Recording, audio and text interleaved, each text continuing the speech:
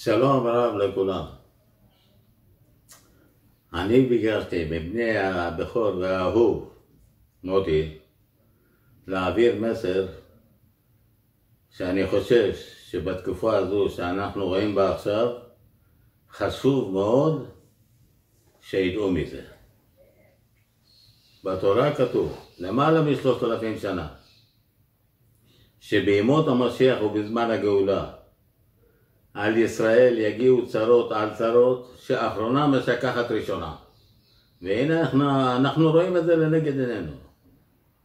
ולכן, אין לנו ברירה לחכות בסבלנות עד שזה יעבור. וזה יעבור בעזרת השם. עכשיו, נדמה לי לנביא יחזקאל, אם אני לא טועה. שלא. אז שם כתוב בערך כך: בן אדם, צופה נתתיך לבית ישראל והזהרת אותם ממני. אם הרשע שב מרישתו, הוא בעוונו לא ימות, ואתה נפשך הצלת.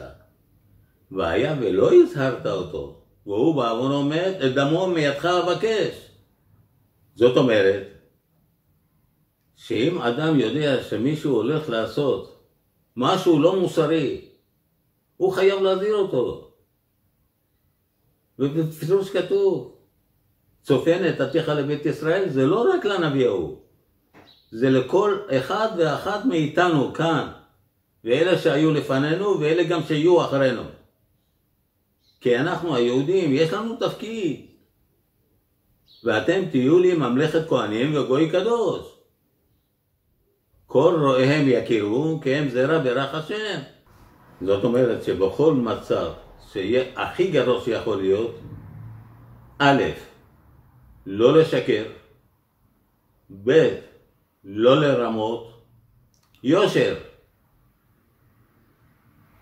לא לפחד מהאמת, האותיות. למה קוראים לאותיות העבריות עברית? אתה יודע? כי האותיות האלה היחידות בעולם שמעבירות ידע מבורא העולם לברואיו. לכן קוראים לזה עברית. בינתיים יש לי סיפור קטן על האותיות. וזה סיפור משעשע. כשבורא העולם החליט להעביר את התורה שבעל פה לתורה שבכתב, כל האותיות הופיעו לפניו. האות א' הייתה בטוחה בכל מעט האחוזים שהוא יבחר בה. אבל הוא בחר דווקא באות ב'. מדוע? כי האות ב' היא סגורה משלושת צדדיה ופתוחה רק לכיוון אחד. מדוע הבורא בחר באות ב'? בכדי להודיע לעם ישראל, לא להסתכל לצד ימין ולא לצד שמאל וגם לא אחורה. ללכת מבראשית עד ישראל רק קדימה.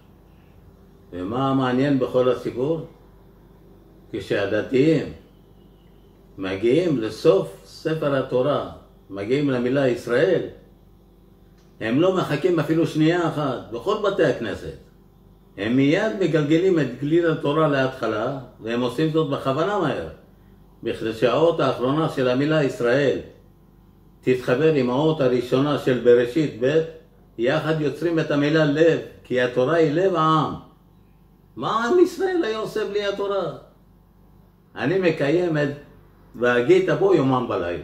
בכל מצב של ערנות אני נזכר בתורה. כי נבואות התגשמו. שכל אלה שאינם מאמינים, שיקחו בחשבון דבר אחד פשוט. כגודל חוסר האמונה שלהם, כך יגדל בעיניהם הפלא. אני מתכוון לפלא הגאולה. פתאום יראו פה נהיה שלום עולמי, וזה יקרה. אין שום צלצל ספק בזה.